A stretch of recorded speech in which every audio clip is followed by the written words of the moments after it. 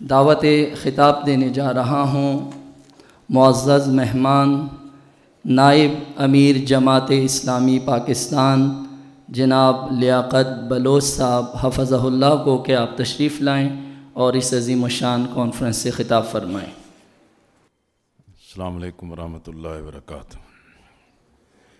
नामद रसूल करीम अम्माबाद फ़ौज़बिल्लिनशैतवानरजीम बसमीम वमा अरसलना का रहमतमीन सदक़ल्लाज़ीम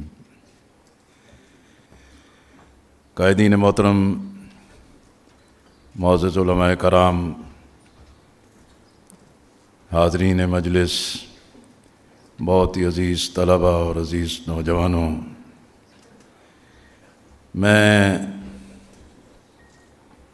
जाम उर्वतुलवस्का इसकी पूरी टीम और बिलखसूस अपने रहनुमा और अपने बहुत ही मुहबी जनाब सैद जवाहर नकवी साहब का दिल की गहराइयों से शुक्रिया अदा करता हूँ कि उन्होंने इस साल भी इस अजीम शान कॉन्फ्रेंस का अहतमाम किया है।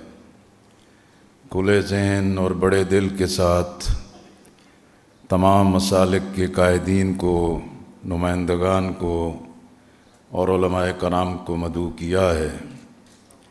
ये वादत की इतहाद की और यकजहती की निशानी है। माह रबी अव्वल में रहमतुल्लामीन ख़ातमबिया अलैहि वसल्लम के साथ अकीदत का, मोहब्बत का, इश्क का इजहार किया जाता है। हमारा ईमान है, ये माह रबी अव्वल, वलादत नबी अकरम सल्लल्लाहु अलैहि वसल्लम, इसकी बरक़ात और इसके फ्यूज़ एक महीने के लिए नहीं है। ये रबी अव्वल हर लम्हे के लिए है। हर महीने के लिए हर मरले के लिए है। मैं समझता हूँ कि जामिया ने एक बड़ी मेहनत के साथ माहौल के अंदर एक मोहब्बत का, अकीदत का और दिलों को जोड़ने का एक माहौल पैदा किया है।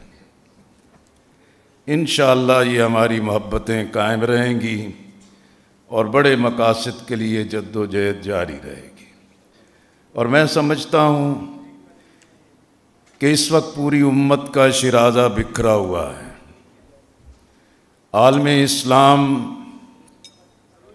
जगह जगह उसका खून रिस रहा है, लेकिन आलमी सतह पर क़्यादत बेहिसी का मुजाहरा कर रही है। अमरीकी सदर बाइडन ने पाकिस्तान की एटमी सलाहियत के हवाले से फिर हर्जा सहराई की है। ये महज एक सादा बातें नहीं हैं।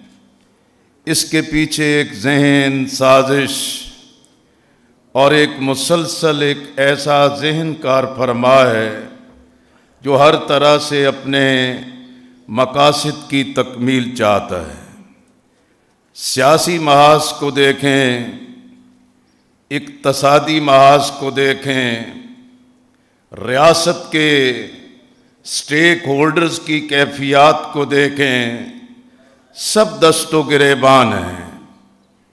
और मीशत, जिसे सूद, कर्जे और करप्शन के ज़रिए तबाही के किनारे पर लाकर खड़ा किया है, कोई नहीं है कि जो कौमी तरजीहत पर, कौमी क़्यादत को कौमी मकासद के लिए इकट्ठा कर सके। आज ये फरीज़ा मेम्बरों महराब ने, मसाजिद और मदारस ने, दीनी क़्यादत ने और वो कायदीन के जिन्हें अल्लाह ने वसत दी है, जिनके अंदर ये जहन पैदा किया है कि उम्मत की इबादत के सिवा कोई रास्ता नहीं है बौरानों से निजात का। मैं एक मरतबा फिर जनाब अल्लामा सैयद जवाद नकवी साहब का शुक्रिया अदा करता हूँ और मुझे यकीन है कि इन वहादत का, यकजहती का और रसूल अल्लाह सल्लल्लाहु अलैहि वसल्लम के उसवा की रोशनी में ये मोहब्बतों का सफ़र जारी रहेगा। हमारा ईमान और यकीन है कि इन आलम इस्लाम ज़रूर मुतद होगा और अल्लाह का दीन गालिब होगा।